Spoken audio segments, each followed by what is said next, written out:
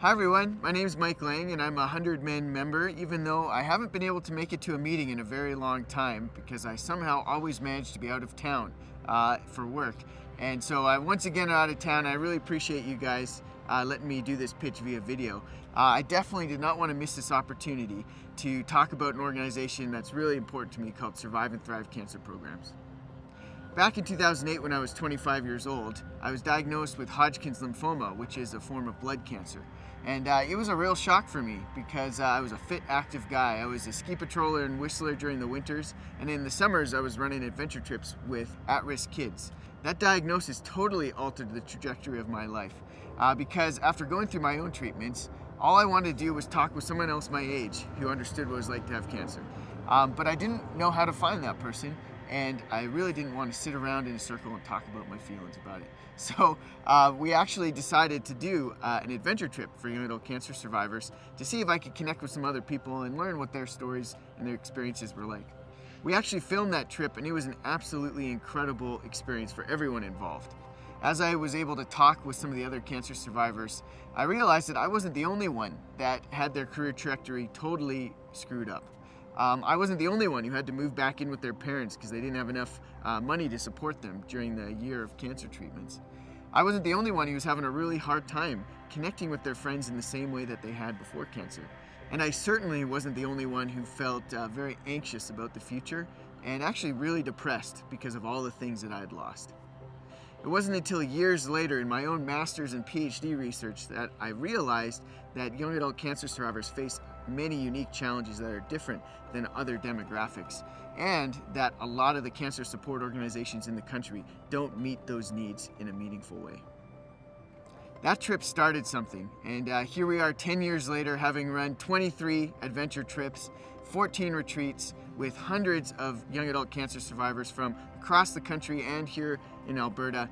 Um, and we also have created four documentary films that have reached thousands and thousands more.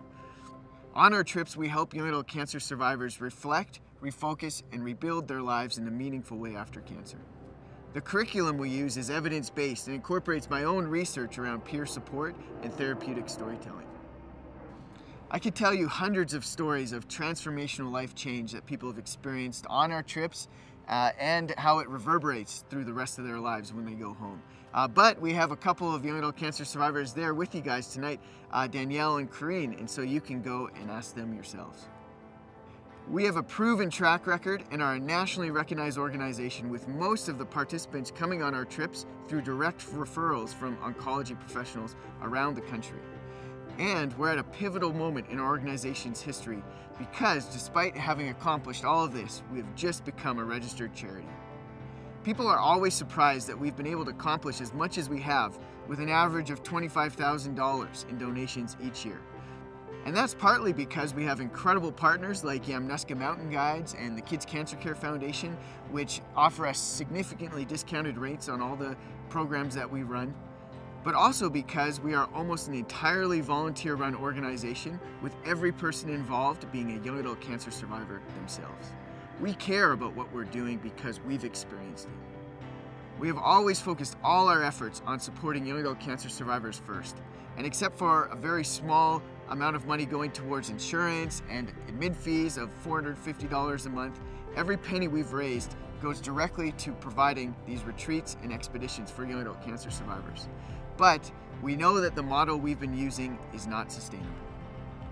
As a new charity, we need to focus on things like internal process development, marketing and fund development, and most importantly, outreach so that we can connect with the 800 young adults who are diagnosed with cancer every year in our province of Alberta and the other 7,000 that are diagnosed across the country.